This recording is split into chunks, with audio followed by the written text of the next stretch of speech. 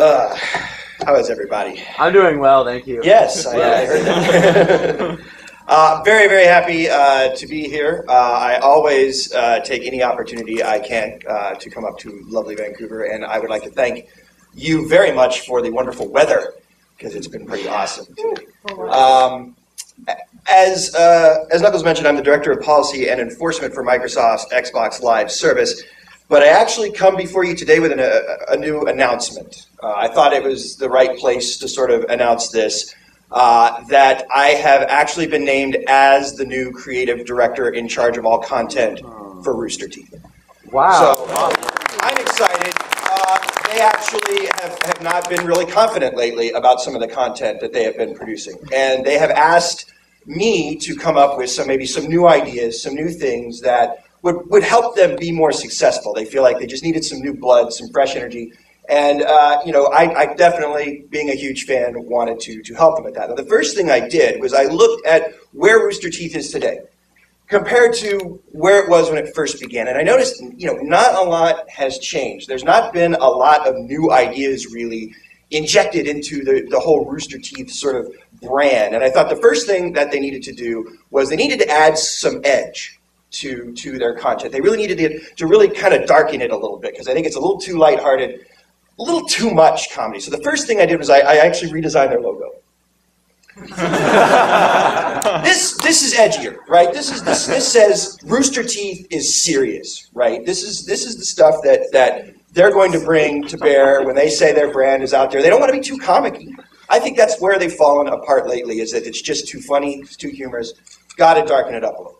So one of the things that I decided to do when I was first sort of analyzing this and figuring out, well, we're going to start right there, right, with the, with the harsher brand image, was I thought, what is the high watermark for comedy in the world? What is the thing that people look at as, man, if you could just take that, bottle it, and, and get it to everywhere else, everything would be funny? American television. American television is definitely the high watermark. The reason that it's the high watermark is because we've invented something that no one else actually has. It's something that I like to call tragic humor. now, what is this? What is this magical thing? Well, it's basically that point in American comedies where they feel like they need to do a very special episode of. I'm speaking here of Family Ties, the episode where Alex's best friend was killed. Uh, uh, uh. or that episode of Diff'rent Strokes, where Arnold escaped to leave poor Dudley to be molested by the guy. That's the stuff that you need to start adding into the Rooster Teeth sort of sort of genre. So I've come up with some great ideas, uh, some new content, some stuff that I think you guys are going to be really, really excited about. Now, again, looking at that rich vein of humor in American television, we certainly have this right? We have an ongoing series that mixes a little drama and a little humor together with an ensemble cast. Well, I think that that can easily be done in machinima and in other avenues, and I've come up with a new show that I like to call Douchebags. now, using the awesome power of the Sims 3 engine, I think that we'll be able to tell a really, really good set of stories here. This is going to be about a series of people who are basically the worst people online that you can think of. They're real jerks. They're douchebags. but you're asking yourself, I can see it, where's the tragedy? They don't have internet access. Oh. You see? You see? This is how you punch this stuff up. This is how you dial it up a little bit. Now, I know what all of you are thinking as well. What about the current content? It's fine to come up with something new, that's great. But what about the current content that Rooster Teeth is known for? What about things like Red versus Blue?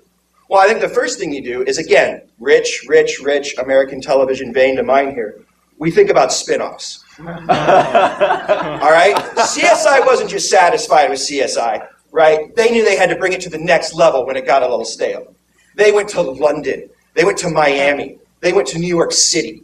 They really decided to open it up. And I think the opportunity here is to open it up for red versus blue. Why should it just be in the Halo universe? Let's darken it up, let's punch it up, let's get some realism. I'm thinking, I'm thinking this is breakout stuff. This is breakout stuff, right? Can you imagine the type of stories that could be told in the red versus blue sort of sort of storyline in these really, really terrible places, I think it's got huge potential. Huge potential. Now, I know you're also thinking about achievement. I actually don't want to mess with that. I, I think that that dynamic actually works really well. I would bring in some new talent, though, to have the exact same sort of format. And I think these guys are the guys. I think these guys are the guys to really take it to the next level and to, to really break out in Achievement Hunter's sort of storyline. So, I mean, these are just some of the many ideas that I have got going on in my head uh, for this stuff. I mean, I've got so many more, so many more that I, I, I want to show you. And, but, no, no, that's- Okay. No, no, no. Um, as I mentioned before, I'm, I'm really, really, really super happy to be here. And I'd like to share with you a major announcement. Um, it's, it's, been a, it's been an amazing few minutes uh, for me, um, being in charge of the creative content for the Rooster Teeth guy. I mean, they're, they're fantastic, and I, I'm glad I was able to really bring some new ideas to the table. I have decided, through them telling me, that I have decided to return to my job as Director of Policy and Enforcement for Xbox.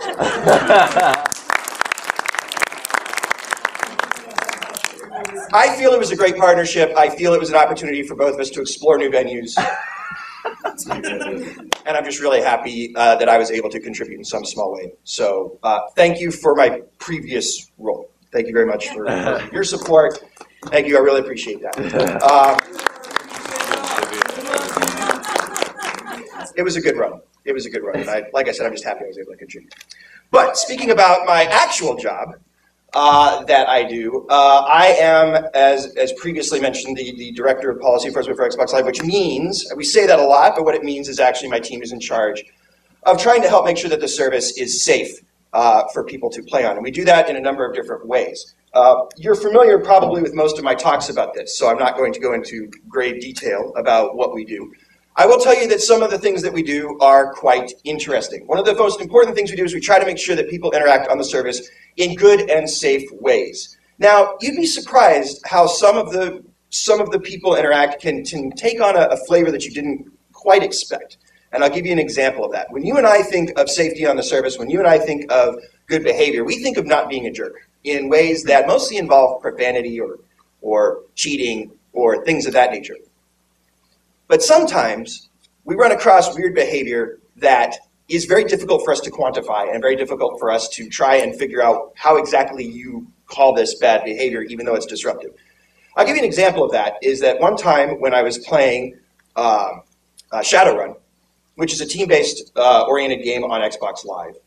We were having a great time. We were playing together. We were working as a team, and one individual on the other side of our, our sort of sort of party uh, ended up joining our team a little bit later when the skill set got reshuffled, and began repeatedly to recite the Declaration of Independence over and over again. And he was doing it so loud that we could not hear each other. So try to imagine, if you will, we're trying to play, we got to get the artifact, we got to carry it over here, oh, shoot that guy over there. And meanwhile, you're getting the Declaration of Independence in your ear as loud as you can. He stops at the end and he starts over again because I thought he was he didn't realize his microphone was on. But I guess he did because he kept going. He was intending to disrupt us. So I'm not quite sure how you take that expression as that's bad behavior, but he was using, I guess, a declaration of freedom as a denial of service. and we ended up having to take action on him. Uh, I'm sure some of you are also familiar with uh, some of our adventures on uh, Uno. now, Uno has a uh, camera function. And in policing the service, we find a lot of interesting behavior when we actually look at what people are doing with the camera. The vast majority of people are using the camera as you would normally use it. About 40% or so of them uh, are just pointing it at their face and they're just chatting and having a good time. about 25% of them point it at a wall or a poster or something. They don't, they don't want to be on camera, but the camera's on. About 25% actually point it at a cat. not a dog, not a snake, not a fish, always a cat. And the funny part is, it works. Cats usually just do things just sitting there that make it look like they're playing Uno. I never knew this until we discovered it. The other small percentage that are left over uh, are unfortunately naked. And it's always men. it's never not men. And we have a metric on my team that we actually use when we are trying to describe this phenomenon to people, and we call it time to penis. if time to penis is high, we're doing our job. We're knocking them offline. That's a permanent ban, by the way, for that type of behavior. Uh, otherwise, if it's low, we need to throw more people at the problem. And that's one of the many metrics that we use when we actually police the service. But when I think about safety on the service, and I think about a lot of the funny stories that we have and a lot of the funny behavior that we have. I keep coming back to Wil Wheaton's law, which you guys probably already know, but I'll repeat it here. Have fun, but don't be a dick. And I think all of us work really hard online to do that. But as I was reflecting on safety and I was thinking about what I want to start talking to people about in my role on the service, I started thinking a lot about growing up in the time period that I grew up in. I grew up when video games were just coming to be. And so my childhood was very, very balanced between playing baseball at a local park or something and playing in the arcades, where you were physically next to the people that you were gaming with, and playing in a park physically with people against each other. And the ideas of sportsmanship and fair play would come into being because if you violated those things, you typically got punched in the neck. There was immediate feedback, as we might say today.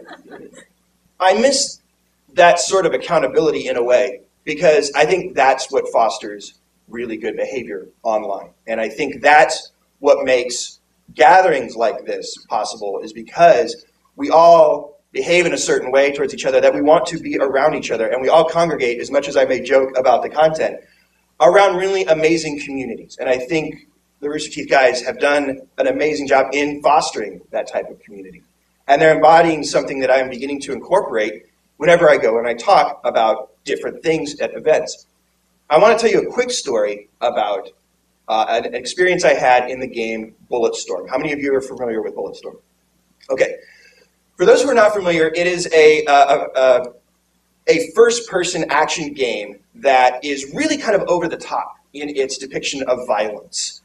Uh, it's almost cartoony and, and funny in the ways that you kill your enemies. You have a device that is known as a leash, and what you do is you fire that leash at people, and once you have them, you can smash them on the ground or throw them up into the air. You can do all sorts of amazing things. You can impale them on walls and do all these really funny and really gross things to them that are all over the top, and you earn points by how spectacularly you kill someone.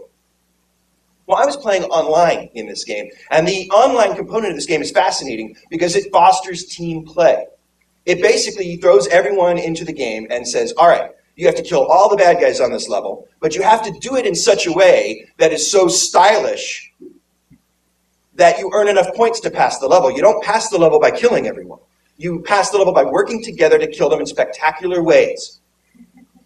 We were terrible at that. Awful. Really bad. Because we were new and we didn't know all the different ways to kill people. But there was one guy. There was one guy who was there. And he was really good. And while we were sitting there trying to do all of these different things, all of these different style tricks, and we couldn't do it very well, he actually stopped us. He said, All right, everybody, stop, stop, stop, stop, stop, stop. We all stopped. Here comes a wave of enemies. The guy unleashes the center enemy, pounds him into the ground, and throws him up into the air, which causes all the other guys to get thrown up into the air. So now there's eight guys in the air. One by one, he proceeds to spectacularly kill each and every one of them, one at a time, with a different trick, earning all these incredible points.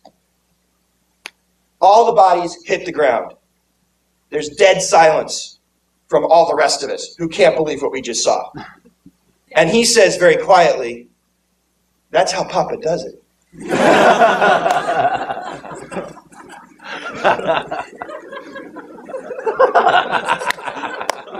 Yeah, that's how Papa does it. And we and we spent the next few minutes being tutored by him. He basically would, as a wave of enemies would come in, he'd say, "All right, when this guy comes in, don't just leash him and kill him. Leash him, throw him into the air, and impale him on that cactus so that we can get the style points for the team achievement that we need to get to get enough points to move to the next level." And he taught each of us how to do each and every one of these tricks. And we had a blast. For like the next hour, we were being made better by the fact he was taking the time to teach us. And I thought about growing up in that park, and I thought about growing up in the arcades, and I thought about someone standing next to you, and you know that they're next to play the game because they've got their quarter notched up in the title of the game. And they're cheering you on, though, even though they get to play next if you do really well. And I thought that it's about time maybe that I help recommend that we as as gamers and as generally awesome people, we think about moving beyond just don't be a jerk or don't be a dick. And maybe we, we, we strive towards being excellent to each other. And the reason that I think that's important is that guy in that Bulletstorm game, he was being excellent to us. He wasn't just not being a jerk. He was helping us have fun. And he was helping show us how we could play this game better and how we could have more fun doing it together than we would in any other capacity. He could have just left the game and gone find somebody who's good, but he didn't. He was excellent to us. And so that is sort of my new message when I come to talk is really centered around how we can all be excellent to each other. And I think that's that's a very important thing. I hope that you guys have an amazing day today. I know that there's a lot of great stuff uh, that we've got planned for you guys. Unfortunately, I can't stay. I have to rush back to Seattle. Uh, but I want you to think about that when you're gaming online and when you're thinking about community. Because I see how, especially the Rooster Teeth community, works in the forums together and talks in the forums together and behaves together. And I see how the PAX community does that. And I see how gamers in general do that. And I think if we just do that to ourselves, that's great. But we have the opportunity, I think, to do it online. I think we have the opportunity to do it uh, in our gaming, no matter what platform we're doing, to share sort of that experience of being awesome to each other, and being excellent to each other. So thank you very much for your kind attention and your laughter at my attempts to make things better.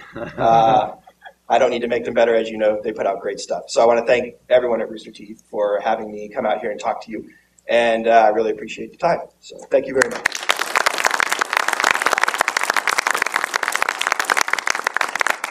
I think I am all of five minutes short of my targeted time. Did you want to introduce the next? Or actually, if you'd like, I could do. you- but you- would you you like, wanna- answer- would you like me to answer some questions for you? Do you have any questions? Yeah, sure. Uh, I don't want to give out his gamer tag because I haven't asked him. But yeah, I did. I did add him to. I should ask him. I tell that story now enough that I probably should should see if it's okay. Um, that's unfortunate. I just don't feel like it would be right to violate his privacy because he may end up getting tons of friend requests from awesome people, but he may not be expecting that. Yeah, yeah. If you give people list, can you just forward it to them and add us? uh, that's a lot of work on me. so uh, no, I, I'd appreciate that, but uh, I, I think I'll just go see if it's okay with him, and maybe I'll just mention it in the in the talks in the future. Any other questions? How much does it cost for us to either ban people we don't like? Price no man can pay.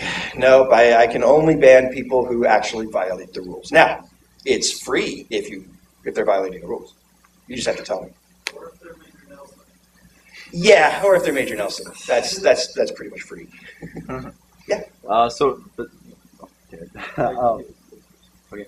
Uh, besides uh, Uno, what what other game do you tend to have problems with in terms of just uh, violating rules? any game that has good support for uh, leaderboards, we tend to sometimes get some bad behavior there. But there's no there's no real way to say one type or the other. A lot of people would say, oh, well, it's probably all Modern Warfare or something of that nature. But the reality is, um, it's a variety of titles. It's really hard to pick just one. Yeah. It depends on when titles come out, and it depends on what types of titles they are. If they're team-based games, we tend to get more complaints because there's more interaction and people are more passionate about the dynamic. Like, I'm still kind of baffled. How do you actually police all of these people across the world? Like, do you have like just a giant screen and people just light up, or how? Do you uh, it's, it's a variety of ways. I can't go into some of it because it's technology that we don't talk about. of course. Yeah. But uh, there's a variety of different ways. The first and most important thing that we have is the collection of complaints from customers. So we actually pull the complaint feed on the Xbox Live system uh, on a periodic basis daily. Um, so several times during the day. And we look at what people are telling us about other behavior on the system. So for text-based complaints like profile content or a bad gamer tag, it's very easy for us to review the evidence and make a determination. For other things like communications, it's a little bit harder. We have to be present in the game itself, um, and there's some other things that we do to help police that type of stuff. But yes, there's a team of people working at Microsoft right now. They work seven days a week, uh, including holidays and everything else, working to police the system and working to, to sort of look for bad behavior. So yes, we do uh, we do have the capability to, to do a lot of that. Oh yeah, and I just thought of one more thing. Um, of course, everybody knows that the PlayStation Network now is down and all that stuff, but um, we pay for our uh, Xbox memberships. Like, would you say that that payment has like in some impact as to like people getting banned or like a lot more policing on the on uh, the servers? I, I'm not aware of an equivalent team on the PSN network. Um, that doesn't mean there isn't one. Yeah. That that just means I'm not aware of it. Um, it is true that a lot of the value of Xbox Live in terms of the the the cost of it does manifest itself in a lot of different things that you guys can't typically see. Uh, that that can be anything from infrastructure to my team. So in general, I would say that the, the brief answer is well, sure. You know, we constantly reinvest in the service, and we are constantly working uh, to make it a value for for you guys. That can take the, the shape of things that um, you you see like Hulu Plus or something like that, and sometimes it can take the shape of things like my team. Thanks. Thanks a lot. Um, I think it's awesome that you have all these tools to sort of punish you know disruptive players, especially when you're in a situation where it's you know uh, like one team versus another. Um, do you have ways to reward players who, rather than leaving the team, actually do exactly that very inspirational story, useful, and actually carry their team to victory? It's, it's one of the things I'm, I'm working on doing is, is taking that is taking that idea and then creating an incentive for it. Um, I think it starts with just getting people to remember themselves how awesome they can be towards other people, and then you move towards. And by the way, here's a here's a nice thing for doing that. Uh, but uh, but yeah, no, I, I absolutely think about stuff like that. And I know you're jonesing to write the theme song to this. One more question. Yeah. What's sort of the average age uh, of the people you end up banning? Is there is it mostly younger people that end up offending, or is it older people? Uh, justice on the system is mostly blind. Um, so what I mean by that is that we don't collect or otherwise tend to look at a lot of information about who we're hitting. We look instead at what they're doing uh, and hit them that way. But I would say in general, you, you wouldn't be surprised. It's the younger crowd. in general, it's the younger crowd. Very few people like me get hit. All right, so thank you very much. I think that brings me right into my allotted time. I don't want to step on anything else. So thank you again very much, guys. I hope you have an absolutely fantastic day. Be excellent to each other and, uh, and have fun. Thanks.